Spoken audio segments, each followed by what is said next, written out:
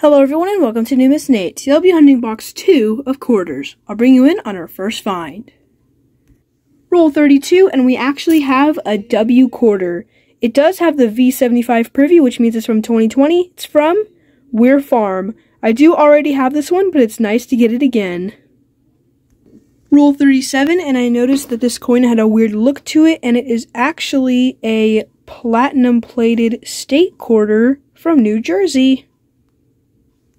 Alright, box two of quarters is done, and we got all of these nice state quarters, one for my album, and a W, and a platinum plated quarter.